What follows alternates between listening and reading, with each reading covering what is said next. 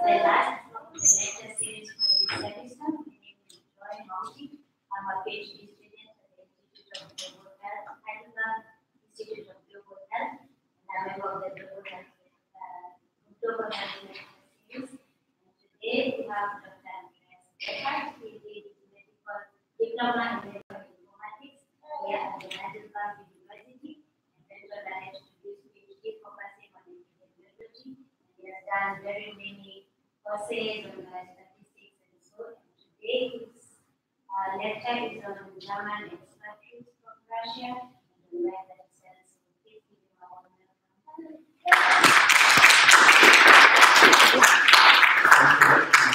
everybody. Nice you found your to lecture. Um, everybody you knows me already, so I'm going to introduce you more detail. We can start right away with the lecture. So it's about German repatriates. It was probably my PhD thesis. And I wanted to like uh, repeat what I found out how we found out and then relate to the, the term refugee and migrant crisis in Europe. Um, many of you might know these figures, so you can see the global trends in migration, and you can see that the number is increasing. We have around 65, 68 million migrants in 2017. And a huge part of migrants are internally displaced persons migrating within a country. So these are oftentimes migrants within a uh, crisis region or crisis country, um, a war region, and then we have others Here we have the um, Palestinian migrants and the UNHCR, um, UNHCR migrants and refugees. Yes. Um, every refugee originally is an asylum seeker. Once their status is confirmed, they drop out of this group. Here you can see the global situation, the global map, and you can see the green bubbles here. These are internally displaced people. All the others are asylum seekers and uh, refugees. And you can see that most of the migrants and the refugees, they come from very poor countries. They mostly migrate to less poor countries, but only a little proportion of them usually migrates, to high income countries.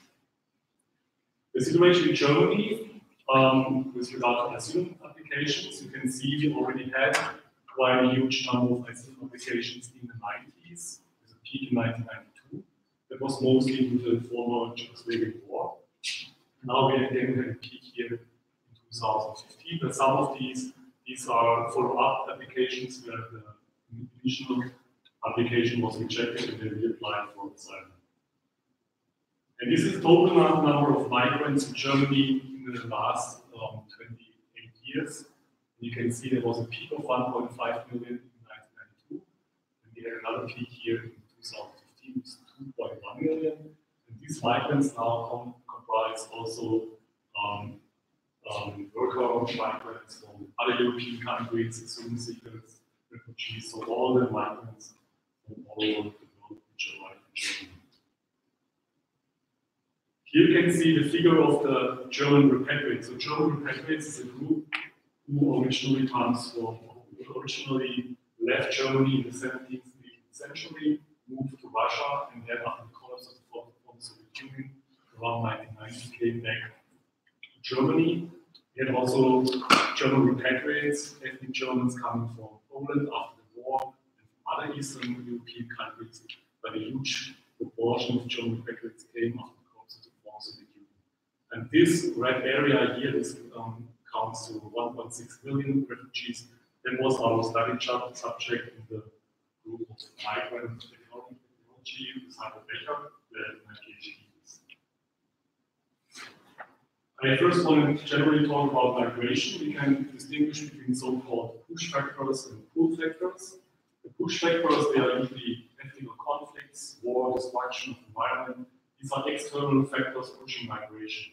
Would also be cultural discrimination, discrimination uh, repressions and persecution, and the exclusion of completely ethnic groups from society. As I said, these are external factors and they are life-threatening usually, and they um, lead to the total immigration of subgroups. These are so-called ethnic migrants.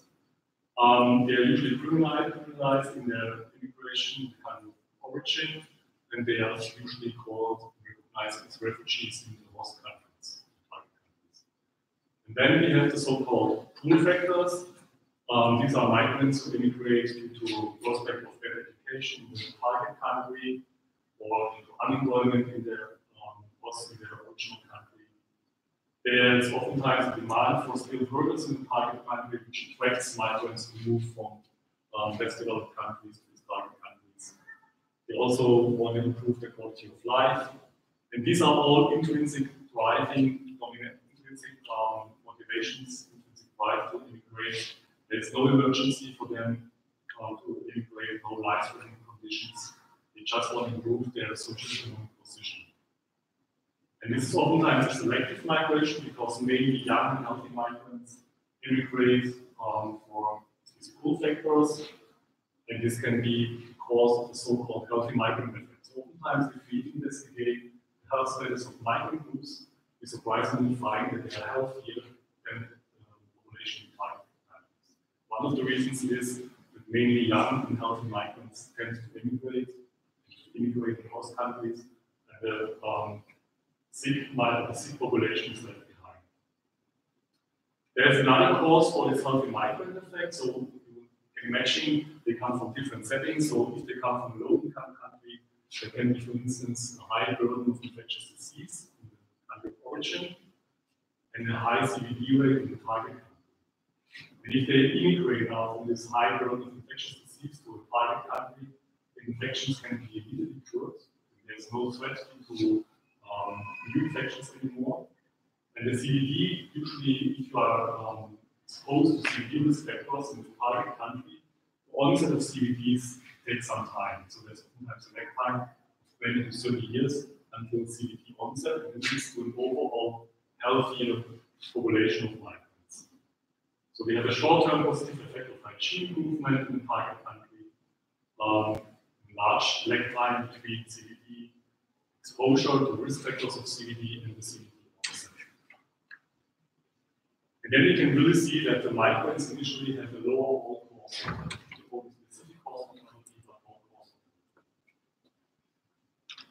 Now the German repatriates from Russia, some um, some, some points the history of the German repatriates.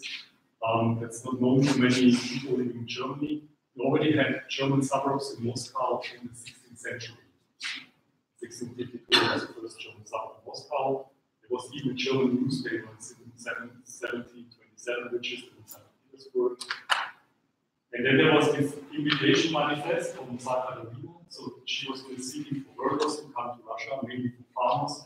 They need farms there and there was a really bad situation with Europe, so many Europeans followed this invitation and moved to Russia, also Germans. Germans, had around 27,000 Germans who immigrated, and about 3,000 migrants. So at that time, immigration was really not a nice thing, it was really a big challenge. But between 1764 and 1773, already 100 German settlements were registered in the Volga region, then in St. Petersburg and in South Ukraine. And there was a second invitation manifest, uh, many others followed, mainly people from Baden-Württemberg, from Altenay, and they settled in the Black Sea region. Then they got a lot of privileges from the Russian government, so they got land allotments, they got the freedom, um, religious freedom, they got loans, and they were they were allowed to self-govern their communities. Here you can see the map where they, where they immigrated to. So here are the origin countries and states of Germany. They mainly immigrated to the Black Sea region in South Ukraine to the northern region. Around 1897, already 1.8 million Germans were living in the Russian Empire. But then from 1900 onwards, there was a greedy deterioration of their conditions. So there was slowly seen as inner enemies and then when they the Second and First World War started, they were really seen as evil enemies. So the Russian government tried to cut their uh, privileges. They also forced them to learn Russian, to stop speaking German, and so forth. But still, the community still increased until 2.5 million Germans living in Russia in 1914. And then there was a big anti-German pogrom in Moscow and religious persecutions. And then the beginning of the expropriations of Germans, 1970 was in whole Russia. So they lost all the land, they lost all the properties, um, and so forth. And then after the October Revolution, they even lost their right to uh, take part in elections. But still, the Volga region, it was a very prosperous region where there was the granary for the Russian Empire. So the Volga region, the Germans were really needed. The majority of the population there, and they kept their autonomous status. Um, they even later got German capital um, 1924. But then there were a lot of famines in the following year, and the Volga region they had to give all their um, crops and grains to other parts of Russia, but themselves they suffered a lot from the Semites and couldn't really feed their own people. So the number of Germans decreased from 2.5 million in 1914, um, to 1.2 million in 1926.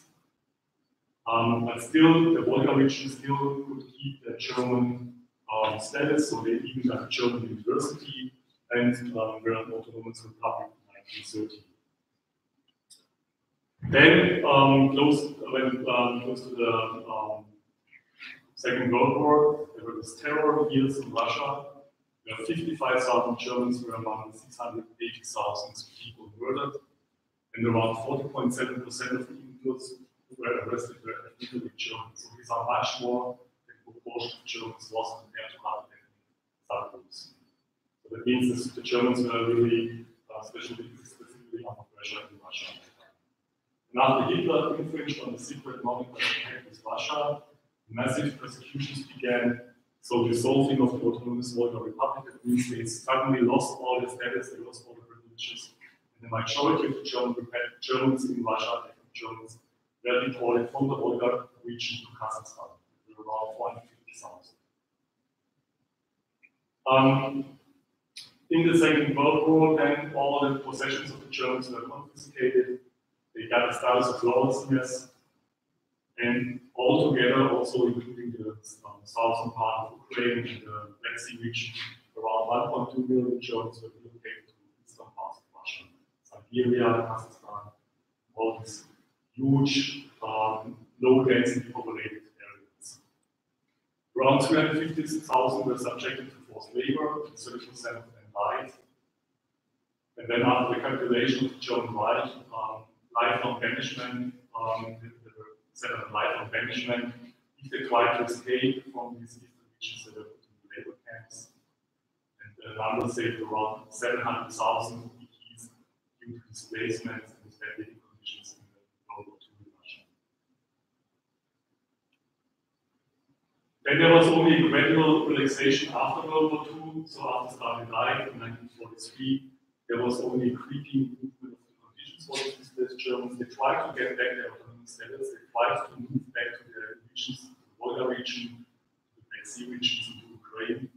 But in 1964, there was a governmental rejection of, rejection of official requests to re-establish these autonomous areas. And around 1970, there were around 1.8 million Germans in Russia. Um, if you compare the numbers here now, 1925, still around 95% of Germans specified German as their mother tongue. In 1970, you can see now the consequences of this Russification.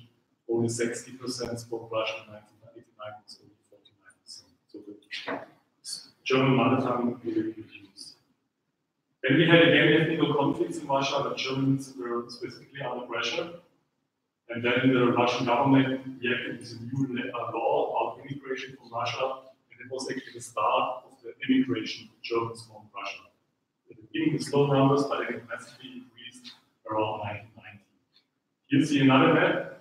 Now this here, this part here is the settlement areas where they settled before they were deported to the relocated to this eastern part. So you can see how far to eastern Russia they were relocated in the Second World War, Kazakhstan, Siberia, and so forth. So really far from their original settlements in the region.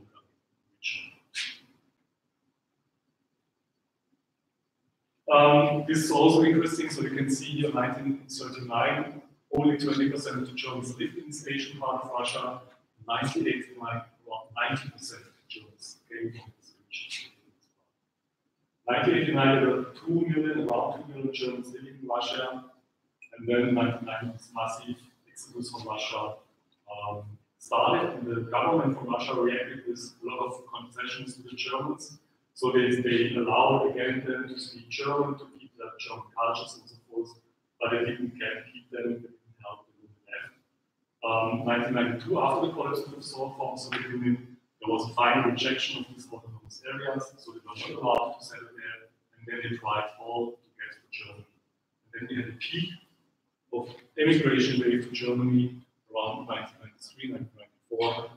There were around 200,000 ethnic Germans coming every year. In addition to that, we had refugees from.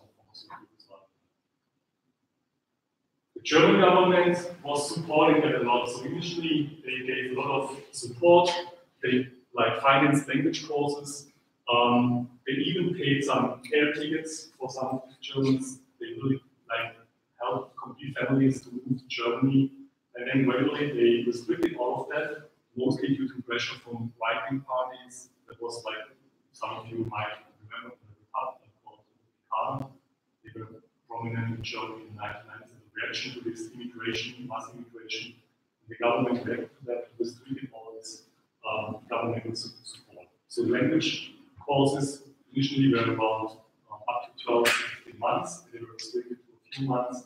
And then later they had to uh, take part in some language tests in their home countries already before they could emigrate to Germany.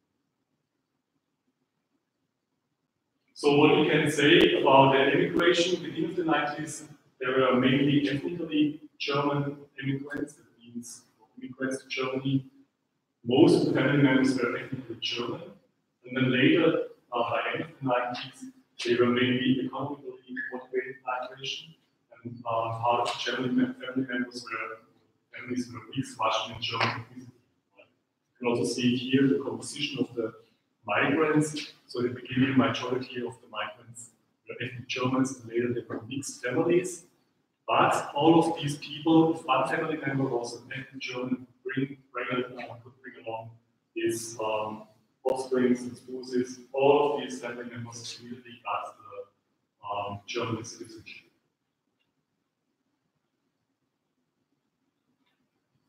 That's to the history of the Germans, of ethnic Germans from Russia. If you now talk about migration in general again, we have this so-called epidemiological transition that is also known to some of you. Of you. Um, so that's the, about population development in different phases. We have a first phase, low-income countries, then we have repeating famines, high rate of infectious disease, and low life expectancy.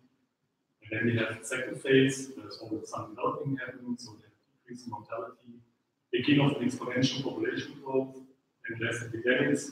And the third phase, where most of the high-income countries are nowadays, high life expectancy, increasing birth rate, and coming out of chronic disease. Oftentimes, the migrants, they shift very quickly from one of these phases to the third phase, or from the first phase to the second phase. So they are shifting from completely different settlements to a new one, environment. And they have to manage this transition in very short time. Um, hence, you can, we can say that migration is a very big challenge in life. You have to shift between different environments, like natural environments, but also um, different health systems and health threats. So there are health threats, they are different country of origin to the target country.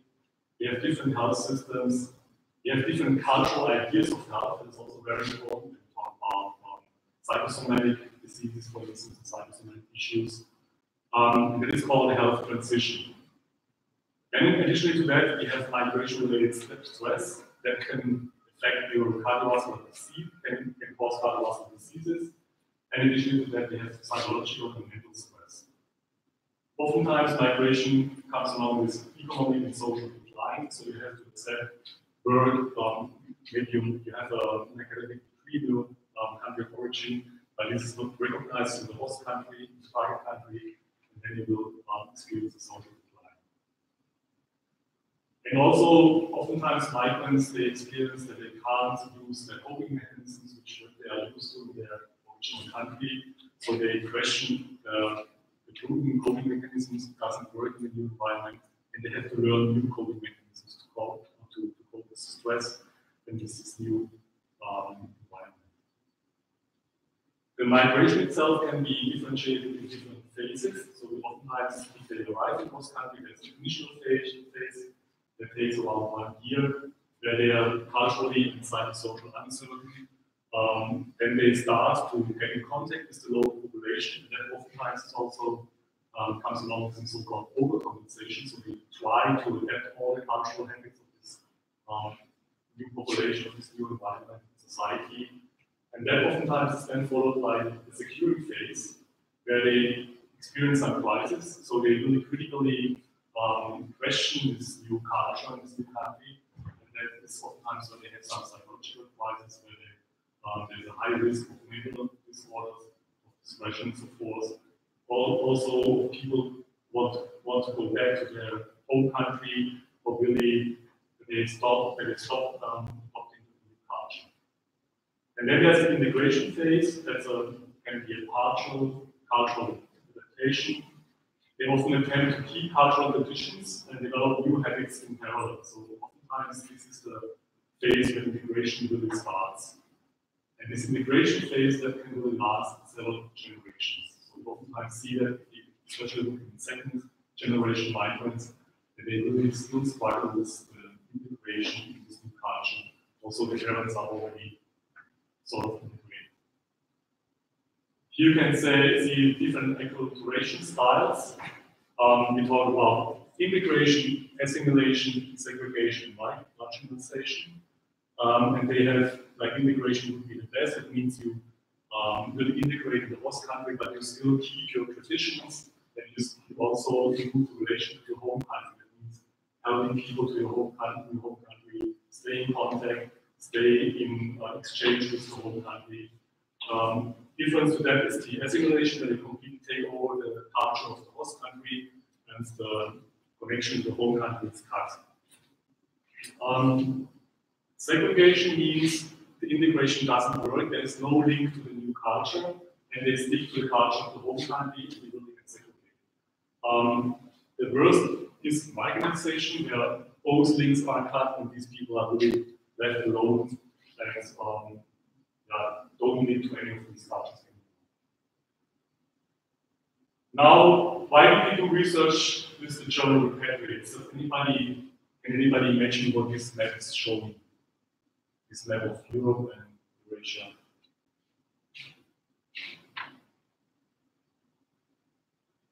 Any idea?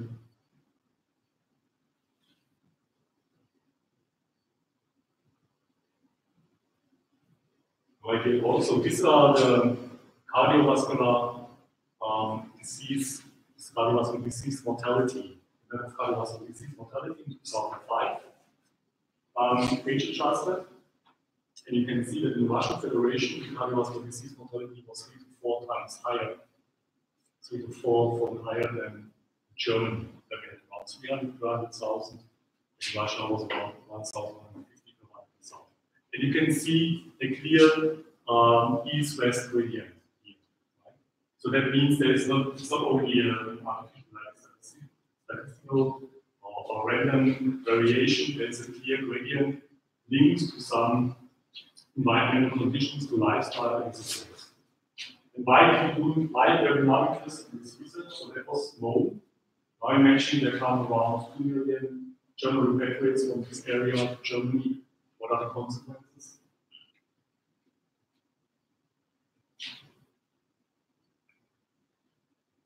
consequences are that big threat to the health system, that we need prevention for these people. If they're really there with cardiovascular diseases, they need to be treated. So that's an economical burden for the health system and so forth. Um, here you can see the trends in cardiovascular diseases between like differences between Russia and Germany. Um, you can see like this, this process here, these are males and these are females. And the brown lines are Russia and the blue are Germany. So in Germany there's a continuous decline in cardiovascular disease mortality for both sexes. There's still a difference, but it's declining. And in Russia, you can see a huge fluctuation, a huge different, difference between both sexes and a huge fluctuation. And you can see even some political events, like here, the collapse of the former Soviet Union, there was a massive increase in cardiovascular. So in Russia, cardiovascular disease mortality is strongly linked to political events. Um, And that is mainly due to some specific habits of mainly um, young Russians. That's so-called uh, one of the reasons is this binge drinking, which is quite common. So the overall alcohol intake is not that much different from German or from Western European populations, but it's this binge drinking habit where they drink a lot of alcohol in short. And also the specific beverages of alcohol like um, vodka, which also contribute to this uh, cardiovascular disease mortality. We know it from some studies, sometimes it's said that um, alcohol is preventing some cardiovascular disease, like French people, they are known to have the least, uh, the lowest cardiovascular disease mortality in Europe, and they're drinking quite a lot of wine, so there are some um, suggestions that wine contains some protective factors. Um, but for this big drinking, this has an immediate effect on the heart, so there's no protection at all. The big drinking really affects the heart muscle and leads to cardiomyopathy. You can see even the subgroups of cardiovascular diseases, so also for cerebrovascular disease and for ischemic heart disease, you can see the same pattern. And you can also see here the um, demographic figures for Russia, the deaths, overall deaths, uh, sorry, overall births. Births dropping dramatically around 1990, overall death increasing. You can see the same pattern um, as for cardiovascular diseases because cardiovascular diseases are the strongest contributor. So Heiko Becher initiated this Aussiedler mortality studies called ARMOR in Germany to investigate the health status of German repatriates. There was a first cohort, was around 34,000 resetters in North Rhine-Westphalia. Then we had another cohort in Saarland, and that actually was my cohort in Augsburg. Small cohort, but the idea behind the small cohort was that we wanted to set up a prospective cohort. So all these other cohorts, they were register-based studies, and just investigated the uh, health status of Aussiedler by looking at the death certificates and comparing the death frequencies with Germans. And in our exposure, actually wanted to do the same, but additionally set up.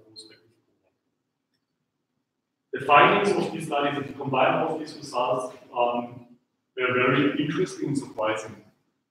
So we didn't find an increase in overall mortality, we didn't find an increased cardiovascular disease mortality, we found the opposite, which is a significantly decreased cardiovascular disease mortality for both sexes. What, that was really surprising. That's also true for subgroups of cardiovascular disease. There was an increase, a significant increase of infectious disease mortality among women, what also makes sense. And there were a decrease um, deaths due to neoplasms in women. And then another alarming finding was an external cause, increase of external cause of death in men, significant increase. But that was really the most surprising because against our hypothesis. Um, the first idea was now, okay, maybe that's the healthy migrant effect that I talked about they only young German repatriates came back to Germany, um, that they have, that they have like, they're all healthy and so forth. But there are many arguments against this um, like um, healthy migrant effect. Specifically in Augsburg, we observed that um, a lot of people were really at old age when they immigrated to Germany, hardly over 90 years. We observed in Augsburg that 20 persons of this cohort, 6,300 died due to severe disease in the first year after arrival in Germany. So they, really, they were really severely sick. Then we know that complete families arrived in Germany. That there was support from government to really let all these families um, come to Germany. So we had this massive immigration stimuli by the German government, and there were no depart departure obstructions in the of the Union, so they really let people go. So the healthy migrant effect was not the cause for this observation. Then um, there was a funny story, funny press release in a German newspaper. Auswanderung von die Gesundheit zur Immigration um, is supporting or is supporting health. We just read this article with Heiko Becher and then said, yeah, you here, but it's actually what, what the findings don't say, if you look in more detail. So what we then did in Augsburg, we repeated the study and we linked like uh, additional the data, not only mortality data, but in that case, myocardial infarction incidence. And we found opposite to the mortality, we found an increased risk, specifically for men. 1.3, the ratio was 1.3. Um, that means a 30% increase of any myocardial infarction, living or um, surviving in the Augsburg cohort general So the mortality was lower, but incidence was higher. How, how bad?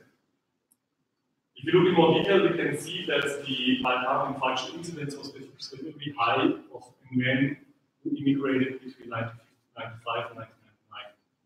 And if you remember now, um, the composition of the cohort changed. That means later on we had many Russians, like ethnically Russians in these families. And these people, they were really linked to the Russian culture. So they could have brought some of these risk factors like binge drinking.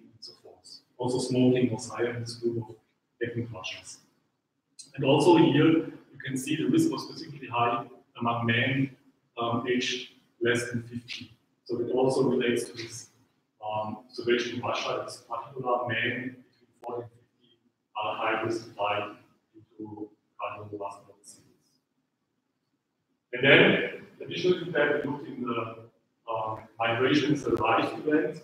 And what we found there with regard to suicides, that specifically people immigrating in the age between 10 and 19 in their puberties, they were at highest risk for suicides. Um, that is just suicide extended. That means we did some additional investigation where we also included some suspicious cases. There's also clear that they um, committing suicide or not. But we could see a very high risk for all of these groups. When we did a survey in Augsburg, we really wanted to get, to get know more details about people and their lifestyles, particular also regard to cardiovascular diseases, change in myocardial infarction. And we did a lot, we put a lot of efforts to really start the study to get the data. We had a lot of support by press releases. You can see it was published in many Augsburg newspapers, in regional papers, also in some Russian um, German Association of Repatriates, some Russian newspapers. There were discussions on media, social media, that's the Russian Facebook, so to say, they discussed this study, were interested. Um, and the concept of the survey was the, at the end, um, yeah, at the end, all these efforts didn't really work out. We had a very low response rate of only 16%. We wanted to investigate the migration history, social conditions, health, lifestyle, and risk factors, and addition to that, self-rated health, because self-rated health is a very good predictor for premature death. Um, and also we wanted to investigate the contribution factors for self-rated health. But as I said, the response rate was very low. We experienced that the housing of Augsburg and German Repatriates, they were living very close, encapsulated communities. It was very hard to really get in contact with.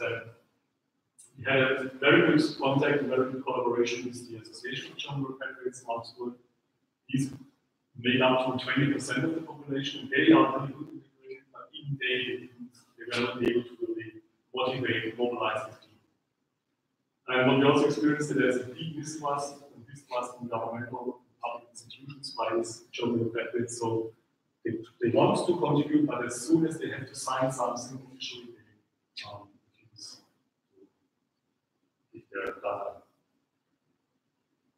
so the result of the survey that only 40 or 47% of Aussiedler German graduates perceive their health as less than good, and that's compared to the German public. The German public we have 20%. So there's a huge difference. 52% of the Aussiedler have a high blood pressure. It's very high. 34% were obese. Um, 40% suffer from frequent pain, 13 had diabetes mellitus, and then you could also find that suffering from pain, limited mobility, diabetes mellitus, and high blood pressure were um, the most contributing factors to low or to poor health. What is the interesting thing about these findings? If you think about the response rate of 16%, what does it mean? What does the response rate of 16% mean about the group? That means it's very, that usually it's a very selective group, right? Most probably people who are healthy, who are interested in health, they take part in the survey. Um, we also knew their, their profession, so we saw many of them were physicians or nurses or into some um, health profession. But even this group had these very poor health conditions. So that means in general group of outside of the general graduates, conditions most probably are worse. If now looking more detail, you can see here the prevalence of good self-rated health, and you can see it was only the youngest of the youngest age group here considered, so 44, they had similar results to Germans, and all the others had less good self-rated health. And dramatically less good self-rated health. Blood pressure was almost higher in all the groups compared to men and women, and also um, this year's diabetes, so all, everywhere we have higher diabetes rates compared to Germans. Um, that is the medication in the last seven days. Here the picture is the opposite. So here you can see that the Aussiedler, they didn't take as much medication as the Germans. That is a hint that they might have less access to the health care system, or might be using the health care system probably. Um, we don't know yet what is behind there, but it was also a clear observation. You can see more age groups, medication is much less compared to Germans. Here you can see the body mass index, and you can see that all the age groups exceed the normal. Um, yeah, except this one, this one here, the median and the mean is still within the normal range, but all the others exceed the normal ranges of BMI for this age group. Lifestyle, physical activity, and smoking, similar picture. So um, men were less physically active, women were less physically active. Women were less smoking, but the men they were similarly smoking than the Germans in this group. But the physical activ activity pattern is quite uh, striking. So they seems that they don't move at all. The results, in summary, we have seen that there was initially lower CV mortality, cardiovascular disease mortality among the researchers. Then we have also seen in the study that these rates had good German rates in the meantime, and showed the figure, but it was one of the observations. We had an increased risk for myocardial infarction in male athletes. Um, we had a high rate of death due to external causes and suicides. Um, so this is serious problem in this group, especially among young, male athletes. The repatriates report poor self-rated health, they have higher mobility, but less medication, and they have low physical activity. With regard to cardiovascular diseases, we can see, say, um, that normally if you um, investigate such microgroups in the mortality pattern, the conditions in the countries of origin. That was also what we expected, they have a higher cardiovascular disease mortality. And usually the cardiovascular disease mortality depends on the socio-economic status. It's known that the Germans in Russia, at least in the last 50, 60 years, oftentimes had a lower socio-economic status than the general Russian population because they were seen, they were not seen anymore as um, guests, but it's not amenities. Um, so, but still, we have this lower cardiovascular disease mortality. And the question now is, how can we explain that? And the only explanation is that they really had a completely different lifestyle than Russians in Russia. And that also makes sense because if you look in these low density populated areas in eastern Russia, they lived in their own communities, encapsulated communities. Didn't the Russian. They were usually very religious. They had their sports associations. They didn't drink much. Um, however, there's hardly any data available on that. We have one doctoral student who tried to get some data on that. She did interviews on telephone with relatives of, of um, Germans who kids, and she could find out some things. So there are some hints that actually true. Then there was one theory that there could have been genetic selection, that means deportation in some parts of Russia, most probably only the weak people, or first the weak people died, and if these are carriers of um, genes of this factors for cardiovascular diseases, maybe there was a genetic selection and these genes didn't survive this population. But there are some arguments against this genetic selection, so we know that cardiovascular disease depend on many, many, many genes, right? each of the genes they usually contribute only a little to the cardiovascular disease risk. And there's also a lot of infection going on, and that makes it very improbable that they was a genetic selection. There are also other arguments which are against this genetic selection, so that is most probably not the case. So, so cardiovascular disease mortality, most probably it's a different lifestyle. Now the question is why is the myocardial infarction incidence among the main male receptors in Germany increasing? It also can be explained by this transition to this new settlement, this new environment. In Russia, for instance, there was a centralized system, everything was organized central, centrally, so also um, the government was looking at that there were jobs available and so forth. There was no competition on the job market. Now they come to Germany, there's a high competitive job market, population density is much higher, they have to earn the livings, they have to learn the language, or relearn the language and so forth, and it is a lot of stress. And especially for this group of people, the main, the main skill, the breadwinner of the family, um, they really were struggling because they oftentimes end in long-term unemployment, um, and they really have to suffer from that. And that could explain this increased um, incidence of infarction in male receptors. Why does mortality not increase in parallel? Well, that has to do with the healthcare system. We know that in Germany, myocardial infarction can be treated if it's recognized early enough. It also has to do to with this time effect. Right? So that other cardiovascular diseases, they take longer to really onset, so that might be visible maybe in 10 to 15 years. So this was also cardiovascular disease mortality is now exceeding the German rates. Know already that the rates adapted to the German rates, so now we have similar rates in cardio- similar cardiovascular, similar cardiovascular disease mortality rates in Germans and German population, and maybe they are in the future. And also, there is also known from research the more risk factors are present, the better the chance of survival. Why is that? Because the risk factors known to the physician, he will prevent or he will like some medication, some preventive medication. That is, um, can be then seen in these paragraphs that people with higher risk factors have a lower um, cardiovascular disease mortality because they get some preventive treatment. Uh, suicides. So there are some strange observations. You know that the German researchers speak German to some extent, right? But still they have much higher unemployment rates than any other foreigners or any other migrants. You can see the figures in Bavaria 2004. German repatriates, they had an unemployment rate of 29%, foreigners 15%, and the native 77%.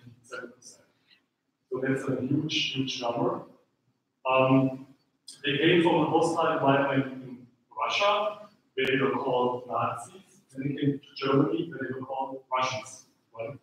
So they didn't come home, they, don't, they expected to come home to Germany, but in Germany the culture developed completely different than their encapsulated um, communities in Russian. They were keeping their traditions, but they didn't find them in Germany. They had a strong family connection back in Russia, in the communities, but this family connection was questioned in Germany because there was a lot of um, friction, a lot of tension in the communities, and this high population, population density and um, unemployment forth, questioned this family connection. I said already, so Germany was expected as a homeland, but it was not like that. Um, and also, that explains the high suicide rates among the people immigrating in poverty. Is the children, they have actually not been included in the decision to emigrate.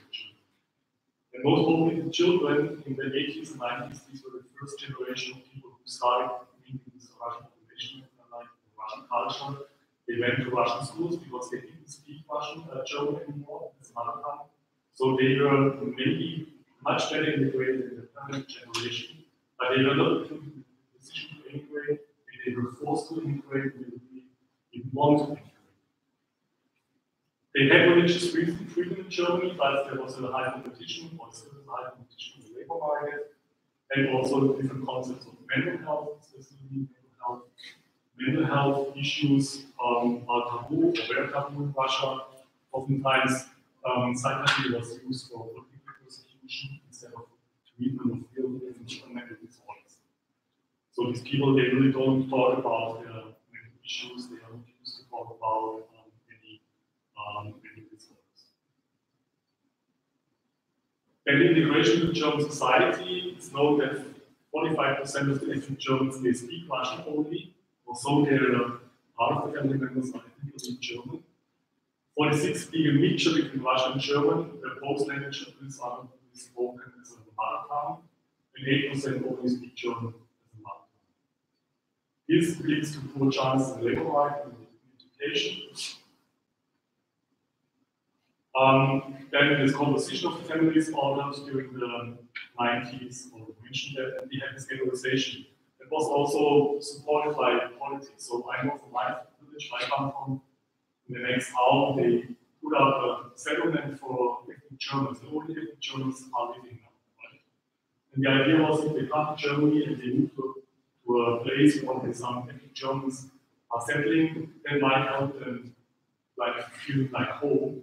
But it actually led to a ghettoization. So they speak Russian there, the, shops they have Russian language in the windows um, then there were budget constraints due to this um, political issues. They reduced the language courses and the immigration support. And we had a high unemployment rate, especially among academics and So what's, what can we learn from that with regard to migration in general? You know, migration is a global problem and can have a local impact. Migrants come to host country, countries. In general, with regard to medicine, we know that language problems, they don't, they, they um, hinder diagnosis of diseases, they lower treatment adherence. Um, we have these different concepts of health and diseases. Um, mental disorders are often seen as a taboo, or often taboo problem in the times of origin. Um, the complaints they have are often psychosomatic, they have pain issues, and then they don't get any psychological support or understanding they get medication, they're not um, satisfied with that, they move to the next physician. It's like physician called position hopping from one position to another, and they really don't get they need, like the only symptomatic treatment. In the German graduates, we saw that they had low education compared to the Germans, so that could be a specificity, specificity of this specific group. Um, but for many other migrant it's known that there are issues of medicalization that means over medicalization instead of really psychological treatment. Also overdiagnosis, since they went from doctor to doctor, they get many diagnoses, but hopefully the help they need. Um, what to do, what can public health do? We know this positive example of the Landsmannschaft. So that's an association which is recognized um, by German politics, by the local governments, and they're really doing a lot of good things. So they're doing integration courses in the schools. They help the children learn um, languages. They help the families. They help the parents. They do a lot. This what I observed in Augsburg. Um, so that is one thing what could be supported by politics, um, by the government, that there are structures in the ethnic Germans from Russia, but also other migrant groups which could be used as a resource for integration. For the prevention, we usually have individual approaches in Germany. That means prevention is individualized to persons. I'm sure for this ethnic Germans from Russia, we need a second approach. That means you also, if it comes, for instance, uh, preventing of mental disorders or suicides, it's the history of the family which is important. Did they force their children to? Were the children integrated in decision? Um, they very religious when they were back? How was the history of this family they migrated? So we need more um, group or family-oriented approach instead of an individual approach. Then we have group phenomena in this, if you have these um, close communities, there are group phenomena, so unemployment is very high there. Um, also, uh, participation in key. That means we have to get them into society. So you can see that in the refugees now as well, who are sitting in the camps for a long time, they're not allowed to work, they're not allowed to take part of society, they really have to sit there and wait, and that leads to a lot of frustration.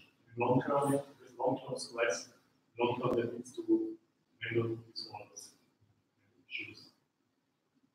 As I said, for the suicide prevention, identity is very important. It's the identity of the family and the migration story of the family. Are they seeing themselves more as Russians, or are they seeing themselves closer to the German culture? That is very important maybe we need a paradigm shift, maybe we need to move from research on negative impact of migration to a more resource resource oriented approach. They bring some resources with them. So they had a high family cohesion in Russia, for instance. Why can't we use that for integration, for prevention? That's it. Here are some papers we published. So maybe Heiko Becher for the Winter, Winter, you know, maybe also some of the other names like Oliver Rassum, um, some Kaufmanns here.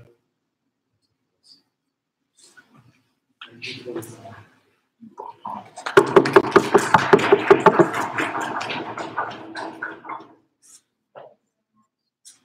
any questions?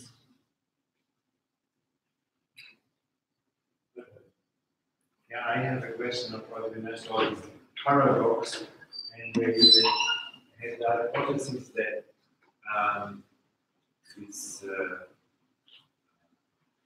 identification of risk factors leads to better outcomes. That um, there, I, I think I, I mean, to me that was not so convincing because we had many, many areas where the link risk that the link that you are recognized as risk. That's very often not lead to an improvement. And In many areas of health. So even if you are, if you are uh, submerged into all your risk factors, only usually that does not. It was only one to survive. Only to survive.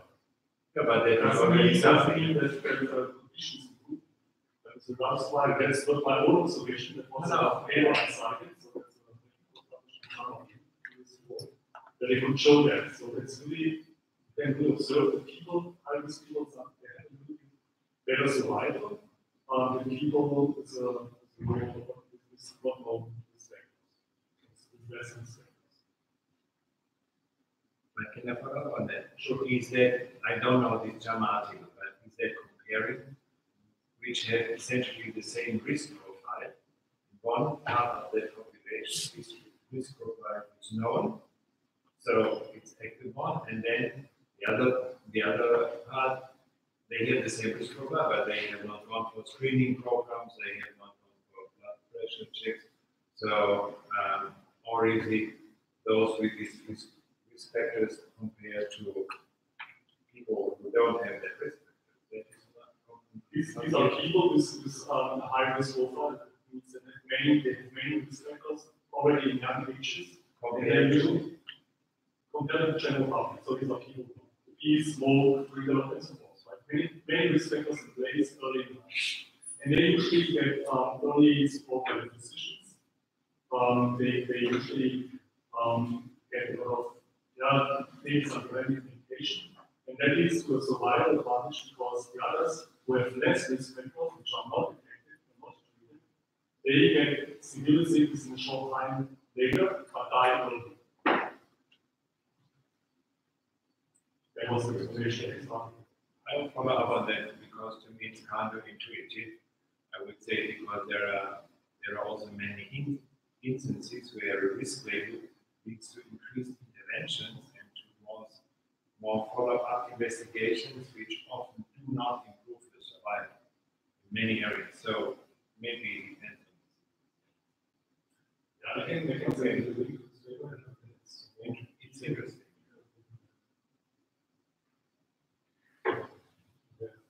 What about the women? These were all predominantly males. Yes, um, the women, the women, they, they have their traditional roles in these families. That means they often have academic degrees, but then they school at home with the children, they raise the children, and they didn't have this burden on the job market, like compete on the job market, for instance, to So even back in Russia, they didn't, they both sexes didn't bring a lot. But the males specifically were um, under pressure, being breadwinners for the living, and they were unemployed, they are unemployed children for long term, so they turned to bad habits. Um, and, they are not, they are, they also, um, they, they lose their status within the families. The women, they, they continue staying at home, taking care of the children.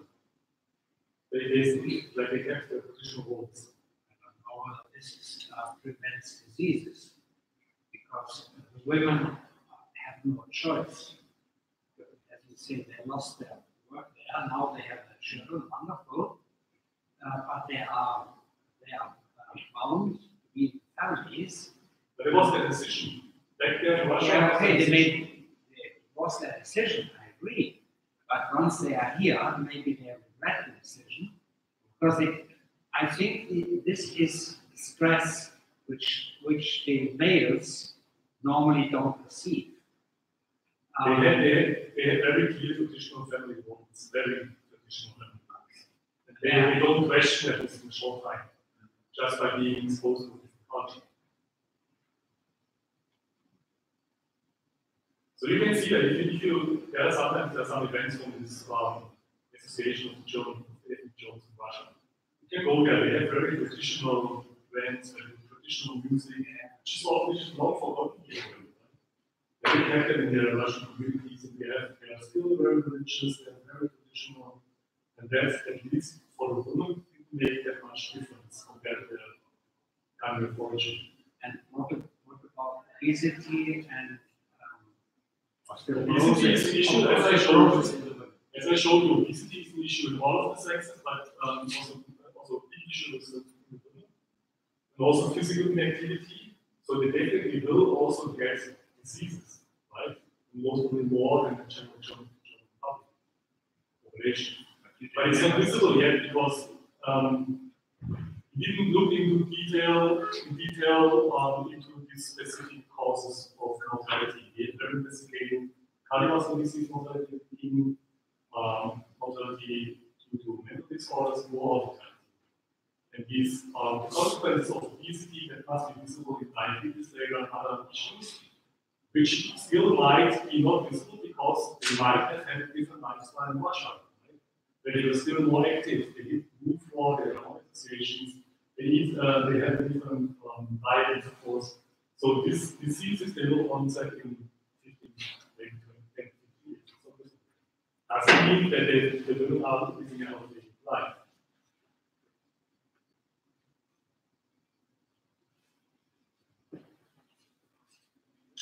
I have a question.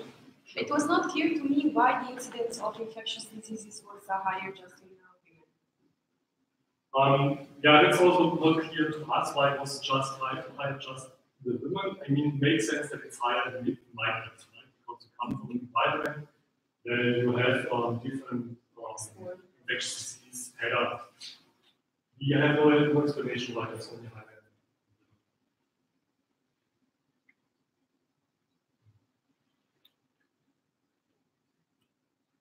Have any um, idea about the social integration of, the, uh, of these people? They come here, they have a different society, and we know that they are marginalized uh, these facts, but do, do you know whether they get more integrated?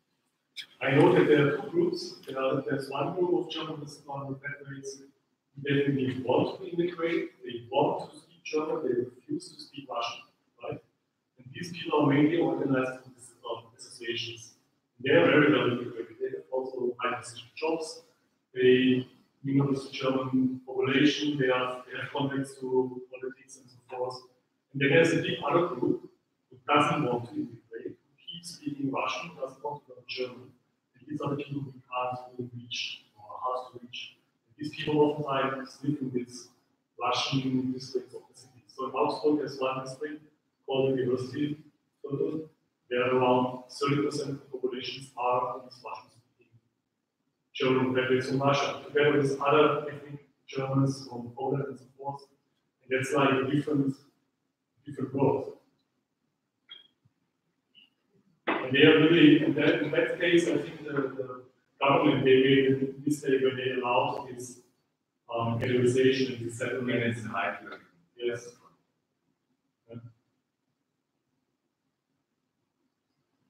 And for them, yeah. Second. I have plenty. Yes. Continue. Um, when uh, time ago, Albania uh, changed. We, uh, I think the Albanians were very clever because they exiled all the criminals. I think this was a very clever move of the Albanian government, whatever it was. And so they got rid of these are harsh words, yeah.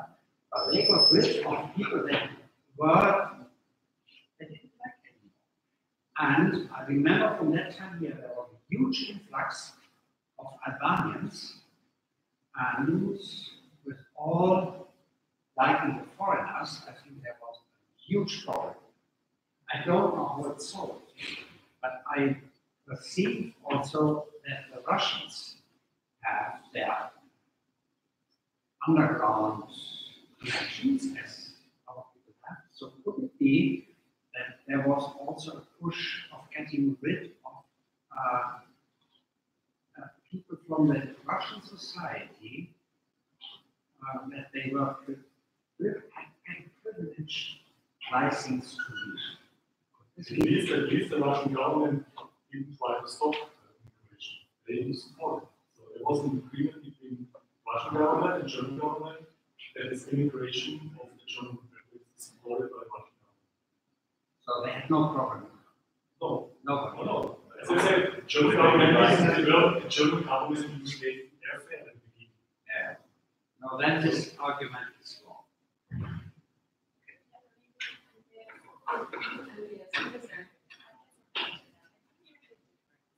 Although we call them Russians, we're talking about people who identify as Germans. So for them coming to Germany was very different than the situation in Albania. Jamila, by the, the end of the nineties, there was a different composition of this immigrants or migrants, right? So in that time, the German government, they, they tried to limit the influx of the migrants from the Germans because they knew that the composition is changing. So we had many Russians living, Russians coming with the German families as part of. Um, and then the German government decided that they have to language test in the whole country. But only one member of the family had to do language test. So that means if one family member was German, he could um, pass the language test, all the family could come. And that leads to this, led this change in composition. That only led to an econo- led to economically driven immigration.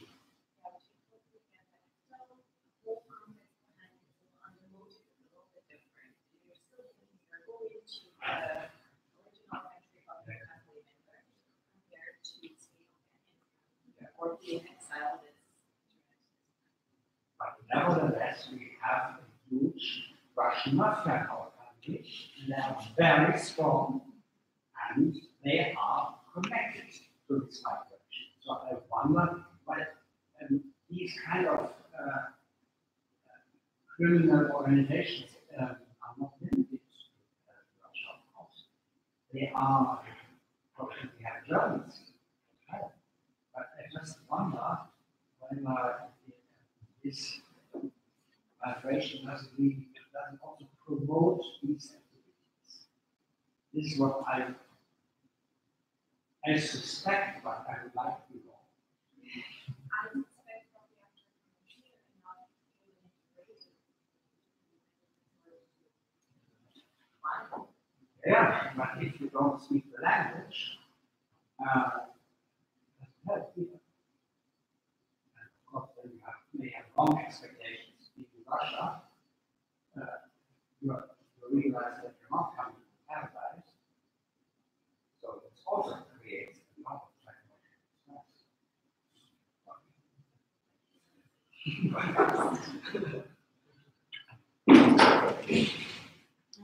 So thank you very much lively discussion. Thank you very much for attending this lecture. Many of us are medical students for the last function. So thank you very much and have a great evening.